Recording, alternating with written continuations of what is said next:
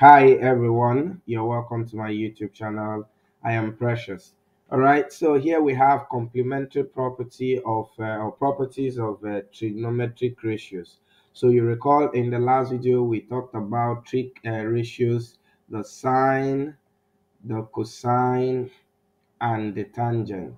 Okay, so now these uh, ratio, these particular trig ratios have uh, complementary properties, and it exists only among the sine and the cosine. And what is this property? Okay, so there are two of them which are just one and the same. So the first says that if I have sine of uh, theta, that it is equal to the cos of 90 minus theta. All right. And then the second states that uh, if it is cos that comes first, that the cos of theta is also equal to the sine of 90 minus theta. So the implication of this is that, for instance, if I have the cos of, uh, uh, say, 30, that it should be the same thing as the sine of 90 minus 30, which is 60. And this is true. You can check that. Of course, the cos of 30 in decimal is 0.8660 approximately. And that's also the value of sine 30. Okay, so um, meanwhile, before we continue, what is actually uh, the meaning of when are two angles said to be complementary? If I have an angle, say x and y as two angles, two of them are complementary implies that the sum of the two is equal to 90 degrees. That means x plus y is equal to 90. And of course, you can actually see that the angle you have here is all actually complementary to this angle. And so that imposes that complementary property on trig functions or trig ratios because you can see that theta plus uh, 90 minus theta is actually equal to 90 degrees. So the two angles are complementary angles. Okay, so now how did we get this complementary property of uh, sine and trig uh, ratios? Now, if we draw our right angle triangle, you recall that that is where these trig ratios began from. Okay, so we have a right angle triangle, and uh, let's say that this is angle theta. This is already 90 degrees. That's here. Right. So, and you recall that uh, for a triangle, the sum of the angles is 180. So, if here is 90 already, that means the remaining two angles must be 90. And so, if we have called this one theta, then the remaining one should be 90 minus theta.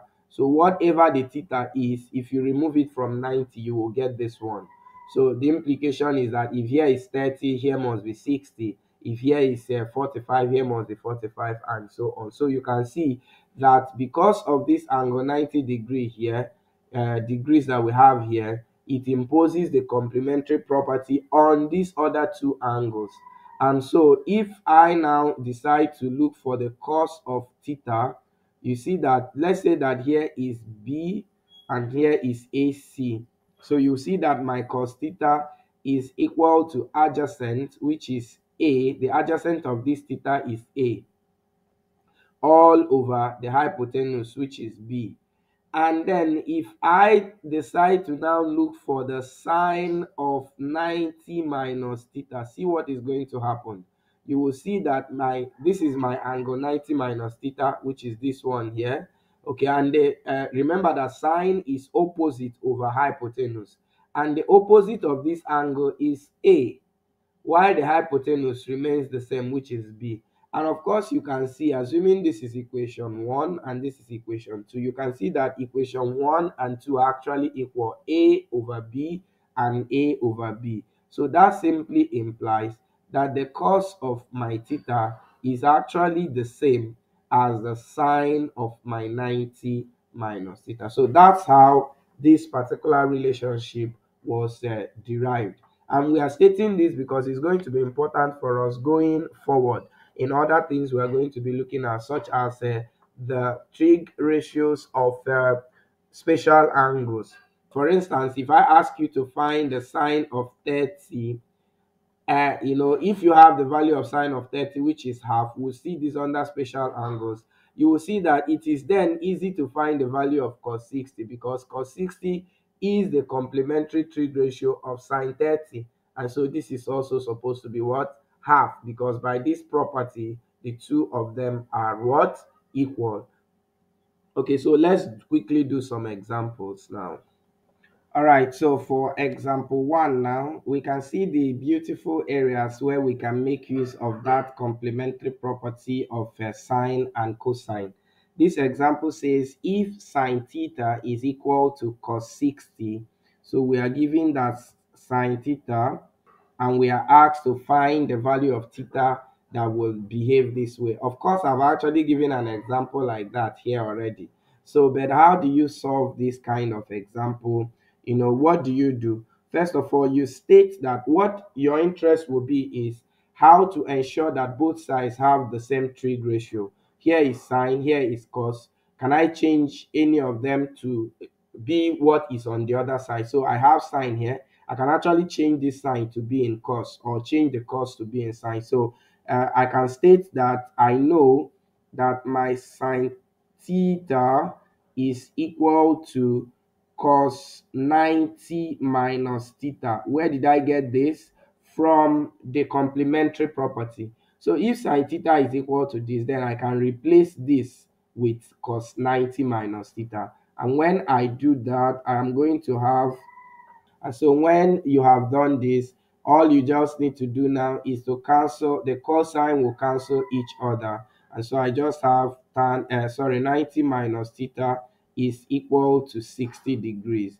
And so I will now solve for my theta to now get the value. And if you take theta to this side, take 60 to this side, you will have that 90 minus 60 is equal to theta will become positive. Therefore, my theta is actually equal to what? 30 degrees, which is what we got in the earlier example that I did. So how do you do that for this one? Now, remember I said you can also change this to sine. You can try that and you'll get exactly the same answer. So we recall that cos alpha by the complementary angle is equal to the sine of uh, 90 minus alpha. So once you state this formula, just use this to replace what you have here so that the both sides will have the same trig ratio. And so that means my cos alpha will now become sine 90 minus alpha and that is equal to the sine of 40 okay so of course the signs will cancel themselves and so 90 minus alpha will be equal to 40 and so immediately if you uh, collect like terms your alpha alone will be equal to what? 50 so if i choose to use the other approach in this case i want to change my sine to cos. So once i state that that means sine 40 will be equal to cos of 90 minus 40 because 40 is your theta here. And so that means sine 40 will be equal to the sine of 50. And so I will use it to re replace, sorry, will be equal to the cos of 50, not sine 50. Okay, so I'll use it to replace this one. So I will now have that cos alpha is equal to cos 50. So when that happens, my cos will take away cos alpha will still be equal to the 50 I got here. So let's look at the next example. Right here, we are told that sine beta is equal to the cos of beta plus 20, and we are to find the value of beta. So just the same approach. Try to, first of all, change any of these to the, the ratio on the other side. So I want to change my sine beta. So by relationship, sine beta will be in cos cos of 90 minus beta. Okay, so I will use it to replace what I have. So what it means is that uh, my sine beta will now become the cos of 90 minus beta, and that is equal to, on the right hand side, I have beta plus 20. Right, and so trying to solve this now, the cosines will take away each other so I have 90 minus beta to be equal to beta plus 20. So if I collect like terms, 90, the 20 coming here will become minus 20. That will be beta plus beta, which will be 2 beta. So I have 70 is equal to 2 beta here. And so if I divide both sides by 2, my beta alone is equal to the 35 degrees. And so here I have the example 4, which I'm going to leave for you as an exercise. Right, this is where we end it for this video. Kindly subscribe to our YouTube channel and do share and like our YouTube videos. We'll see you in our next video. Bye.